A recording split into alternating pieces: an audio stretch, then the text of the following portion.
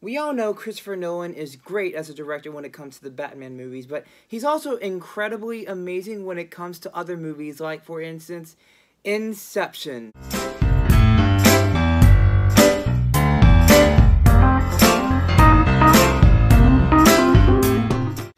Welcome back, ladies and gentlemen, to another random movie review. And since I am still in the process of trying to complete the Dark Knight trilogy, I might as well just review another Christopher Nolan movie within the middle. So, um, just like, like what I said, I love Christopher Nolan, but there's this type of Christopher Nolan film that has been incredibly unique since eight years ago, back in 2010. And as I stated in the beginning, it's Inception. And oh my goodness, I got a new table that is much taller than the last table that I used for my review. So this is a much taller table, and this is a new type of angle of how I want to start trying to make my new movie review. So um, here it goes. Inception is a 2010 psychological action thriller directed by Christopher Nolan, and it stars Leonardo DiCaprio, Ellen Page, Joseph Gordon-Levitt, Michael Caine, Marion Cotillard, and so many other roles. This movie is about a dream thief named Dominic Cobb, and he's someone who knows how to steal people's ideas and knows how to replace them with new ideas into people's minds, making it think that it was theirs all along. And he does it through dreams, but one day he gets a humongous assignment that he cannot do alone. So he builds a new team of architects or dream architects that can help him create this new idea into this person's mind, making it think that it was the person's idea all along. And of course, planting the idea, this more of a complex idea into this person's head for their big assignment is not an easy task for the team. It becomes incredibly difficult and challenging because they have to face through several layers of the subconscious of what needs this, of how this idea needs to work for each level of the mind and the human brain. And now you got yourself a really interesting movie that questions about our minds and what we can do with it and how we can flex it. Out of all the things that I stated, Inception has to be one of the most interesting and fascinating movies I have ever seen.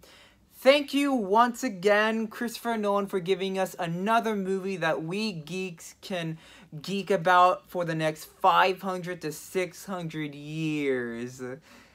Oh, Nolan. Yes!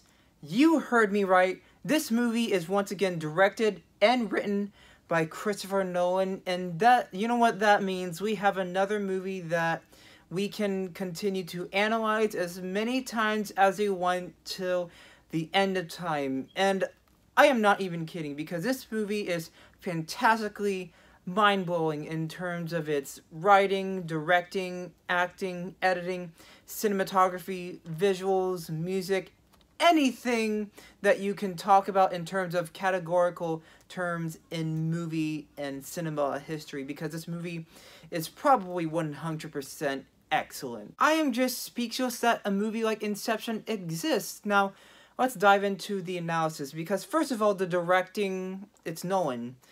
I could probably just say the directing is great because it's Nolan, and it is, but honestly, there's nothing else of how I can really explain how amazing Nolan's direction is because every time I review a Nolan movie, I'm always going to say it's great. And it is great, and I feel like I'm getting incredibly repetitive by saying it's wonderful with the way how Nolan directs his movies, and it really is. This movie is within the moment. It never feels as if it's fake or if it's unreal, but it becomes this type of new reality that you feel as if you're actually there, and that's one of the biggest accomplishes accomplishments made by Nolan. And the writing of this movie, written by Nolan, are questions that scientists have been trying to theorize ever since they discovered psychology. And it's something that I really have to give everyone praise for because this movie asks a lot of questions about what how can you react to things that happen within your own imagination or your own consciousness or subconsciousness? And it really does tend to ask the audience can you can you um, sense the environment around you? Are you even alive at the moment due to the type of brain that you have? And it doesn't it doesn't basically question intelligence but it just asks you about why do you think this way because that's what Inception's purpose was, especially with its writing. And another thing that I really loved about the writing in this movie is that it matches the visuals. Every time a character is describing things that happen within the movie, it's almost like an instructional movie of the subconscious. The visuals match Oh goodness, the visuals are just beautifully, gorgeously shot in this movie. But before I talk about visuals, let me just dive into the writing once again. And although the writing is super cool in terms of talking about the subconscious, it's going to be a bit of a flaw for some viewers because this is a movie where you really, really have to pay attention. It tests your listening skills in terms of how characters describe things and it also kind of it kind of does bother some viewers about how some characterization things happen, especially in terms of Leonardo DiCaprio's character of Cobb and some other people. But other than that, it's a type of flaw that is not really a thing that ruins the movie. It's a, it's a thing that, it's a type of flaw that can force people to just keep on thinking and thinking about it. The visual slash CGI for Inception are just things that impress me till this day, eight years later. And this is a type of CGI I really, really appreciate in a movie because when you watch this movie, you can tell that it's fake or it's CGI and or it's green screen. But once you really dive deep into the visual effects into this movie, you forget, you really do forget that it's CGI, and you feel as if you're really sucked in, into this environment of like the world moving around you, building itself throughout your own dreams, and that's one of the things that really blows me away about Inception. And whenever you see the CGI, it is big, it is huge and it really does feel as if it's matching with the Hans Zimmer music of like Brum, and it and in the way how revolutionary it is in terms of you know building things through our own imagination. That's one of the things that I really really appreciate about this movie. Its visual effects, and this movie is just incredibly groundbreaking due to that. I also really adore the cinematography in this movie. This, of course, is another IMAX shot movie by Christopher Nolan because of the huge landscape shots and the establishing shots that he decides to choose. But the way how this movie is filmed, it's also filmed like a James Bond film, if you know what I mean.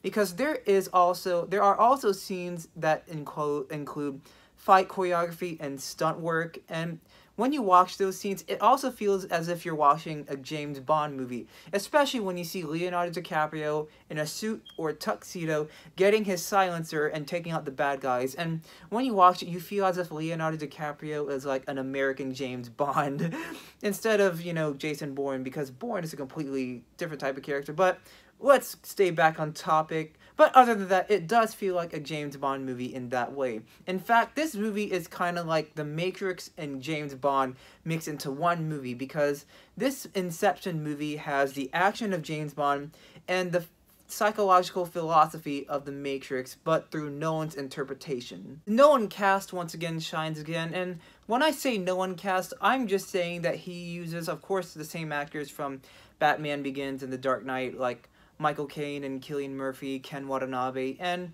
you got a few additions like Leonardo DiCaprio and Ellen Page, and now you got Joseph Gordon-Levitt, and they're all amazing. And of course, I really, really appreciate Leonardo DiCaprio's performance as Dominic Cobb, and he is once again an amazing actor that shines in this movie. He is incredibly devoted to the role of Dominic Cobb, and once you see Leonardo DiCaprio, he really does become his character, and you can see how devoted he was into into being involved with what he was doing or with what his character wanted him to do. And of course, DiCaprio once again steals the show. And almost every other actor does their thing, like Marion Cotillard playing Cobb's wife and Ellen Page playing Ariadne. And of course, everyone else is awesome. But I'm just saying that not just Leonardo DiCaprio, but probably I should say that everyone does a fantastic job in terms of the acting. Inception can also be viewed as a silent movie, and if you know what I mean, I'm trying to say is that this movie has an excellent and emotional soundtrack written and composed by Hans Zimmer because if you was if you ever watch this movie and you think about the dialogue written although it's greatly written by Christopher Nolan but if you take it out and you watch it with just the music you can you can actually see that this movie's music by Hans Zimmer reflects the human emotions that we have every single day in our minds. And this soundtrack can reflect on happiness, grief, rage, and all those type of feelings that we feel. And that's one of the biggest things about Hans Zimmer's music of Inception because this movie this the music is all about feeling. How do we feel and how does music interpret how how does music influence our own minds and brains when we listen to it? And those are the things that I really really love about Hans Zimmer, especially the two songs that I really really love listening like The Dream is Collapsing and Time, especially Time which is the one that is played at the very end of the movie and it does ask a question about why do we act like this? How do our minds come into existence? And that's also what the writing does, and especially the music. And but the music, in terms of like what I said, that's what it does. In conclusion, and I actually have to be honest with myself, Inception is a type of movie I may want to make another movie review on. I'm not trying to say that I am not enjoying my time filming this review and this review is very unpolished. And I'll be honest, most of my reviews are unpolished, but this movie has this type of thing that people can go see multiple times and discover new things every time they watch it. And if I do ever make another movie review on Inception, it may not be about the things that I stated. It's probably going to be a more of a philosophical type of video, you know, discovering and learning and even studying the things of what Inception stands for. And because of how unique and groundbreaking and revolutionary Inception was, I gotta give it a 10 out of 10.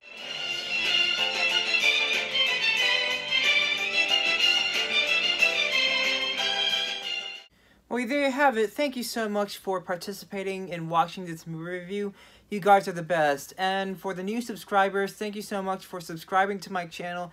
I cannot wait to learn more about y'all. And for more videos, please subscribe to my channel and hit the notification bell.